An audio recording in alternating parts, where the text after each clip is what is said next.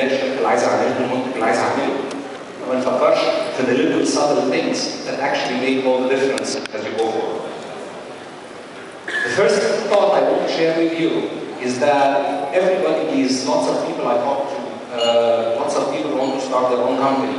They start their conversation by they come through and say, I have this great idea, or I have this good idea, or I have this brilliant idea. Ideas are excellent, ideas are great, but ideas are always a good start. It's the end there, they're just a start. Ideas on their own mean nothing. Ideas, النهارده anybody can challenge an idea. I can sit down and come up with a million ideas. I can sit down and say, I want to invent a flying machine that flies faster than the speed of light. It's an idea. There are actually people working on stuff like that. الفرق بيني and these people who are posted in NASA working on that, They took it from just a simple idea that anybody can challenge, anybody can shoot down, and formulated to something, our story of how to take that idea further. Naharda will meet lots of people, colleagues of yours who want to join forces with you, want to collaborate with you. You have to take whatever you're talking about behind beyond that idea phase. If you talk to investors, if you talk to partners, if you talk to parties, ideas are great. That's none of us, we sit on the other side of the table none of us is interested in hearing an idea. We're always interested in hearing a story of how that idea can be taken forward. The next thing that للأسف overwhelming ظاهرة uh, that we see all over the region, مش مش مصر بس, in we have that habit of you know people calling in saying you know we have this great product, we have this great project we want to talk to you about. We welcome people and you know we wait, we're sitting in a room, usually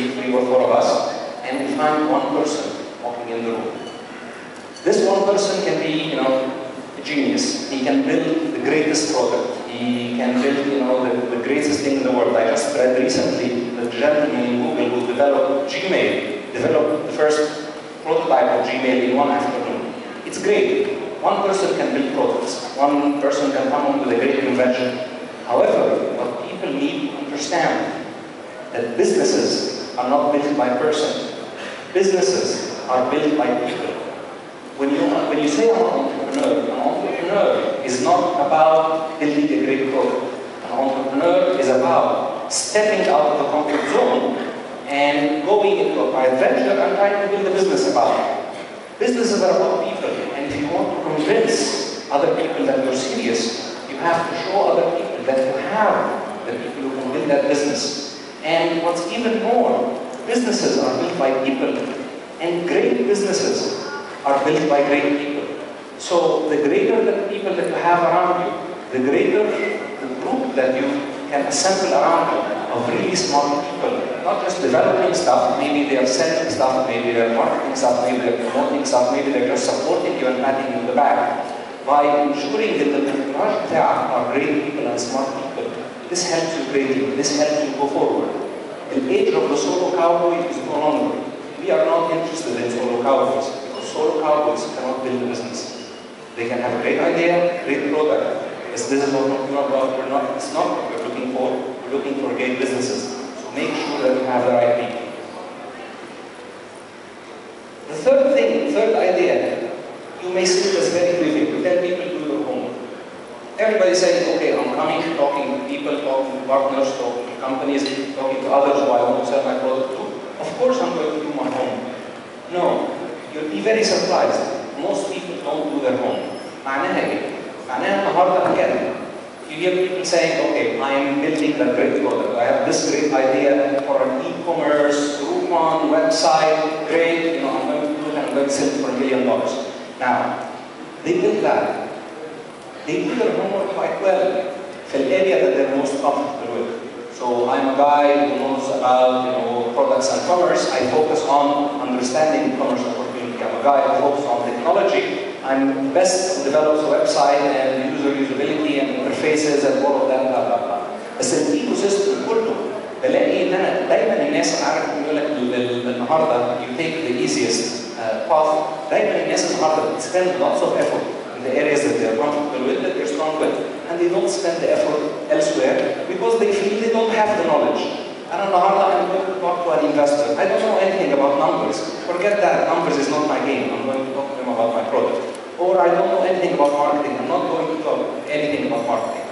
In the harder, when you see people who can support you, whether they're partners, whether they're investors, whether you know they are just colleagues, you have to show that you've done the effort. And, and, and related to that point, I'll, I'll tell you actually about an actual story that happened two years ago. I was about to invest in actually an excellent company, an excellent product in, in, the, in the medical and healthcare technologies field. Great product actually. We've, we've done, passed through everything, we passed through three, four meetings. Great company, great product.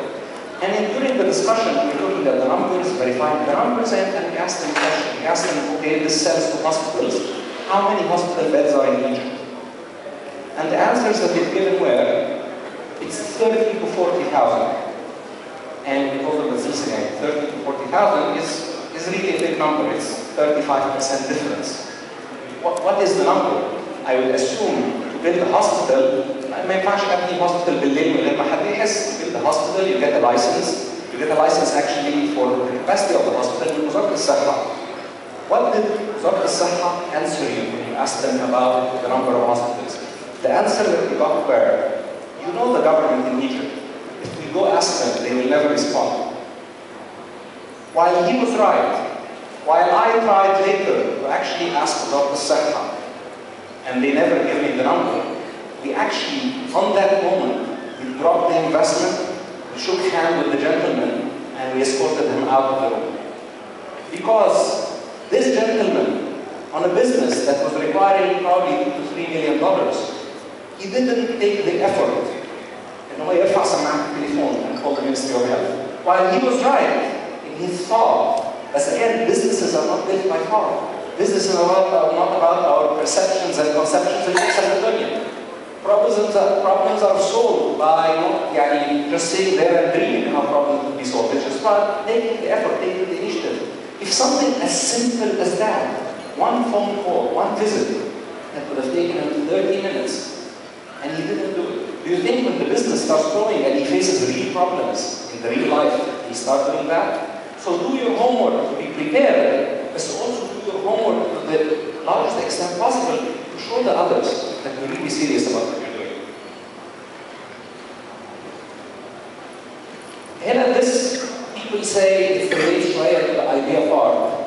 But Hannah, it's, it's true. Uh, what we're telling people, concepts again, are great. Plans are great. Thus, you are more valuable if you have actually started to develop something concrete and showed something. And how when I see somebody in the room saying, I have this great idea about this product and I know how to do it, you know, I may listen and appreciate that. If somebody comes into the room and says, you know what, I've developed a prototype and I would like to demo it to show how something works, I value you more, I appreciate you more. Not just monetary value, but the barrier to acceptance has dropped significantly if somebody comes and says, you know what, I've taken that, I've launched in public beta, I've helped people, and this is the feedback that I got, and I use this feedback to even develop something further, then I evaluate that person more. Another the message is here. In Harvard, we have all this great buzz about investors, VCs, innovators, angel investors, angel funds. All of that is great. That's what it is. It's not even an idea of what or a company and just go around and try to shop for money or shop for help. النهارده every single moment that you spend on this earth counts. Time is the only asset that is not replenished. فبالتالي use every moment to try to advance what you're trying to do, what you're trying to build. Use all the resources that you can. Build something concrete. Because the more you build something concrete, the more people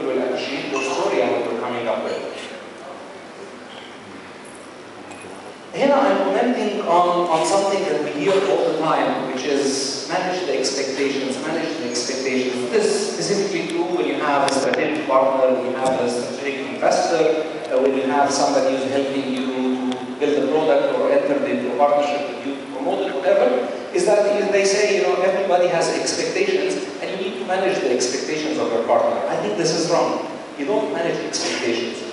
When you seek help for an, an investor or a partner or somebody you're trying to employ for the business, it's not about seeing what his expectations are and trying to manage them. No, this leads you to go into this mess of intersections. Because everybody, and I want to go there. I want to build a great product while this other guy wants to make a lot of money. Uh, I want to live in Dubai while this guy wants to stay in Egypt. I want to be glamorous and show in the news while this guy wants to go out and you know has a great car and goes out lots of great girls. It's not about managing the expectations of everybody. Because as we said, businesses are built by people and partners. And the more people and the more partners you have, you have more expectations.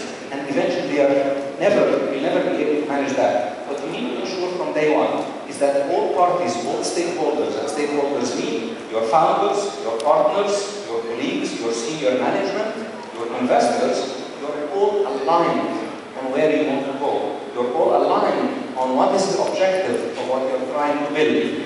If you feel that there is misalignment, do not proceed with the partnership. If you feel that there is misalignment, do not engage with that partner that you want to bring. No matter how good he is, because he is good today, as once you go forward and the roads start going in different directions, you will feel the dilemma then. And the last thought on that is that when you go, we eventually seek investments at any point of time, whether you're a startup, whether you grow your business and you're requiring some growth capital, you have to understand that money is not free. What we mean by money is not free, people, again, take the obvious. Yes, you know, an investor will give me some money and I'll give him a part of my company. That's easy. No, it goes much further uh, than that. It's not about a share in the company. By having a partner in the company, he will exert some level of control. And even if that control is not direct, he exerts some level of influence. Or you will have the burden that you have somebody who, as a shareholder, you owe him money, you owe him equity in the business, or you'll just have something as simple as the pressure continuously on your back to drive and deliver and, and, and, and. When you enter a partnership, especially with an investor or a partner in the business, you have to understand that money does not come for free, comes with all of that. You have to be ready to pay the price. Not everybody is ready to pay that price. There are people who want to have pride in what they're doing, they want to keep it close to their hearts.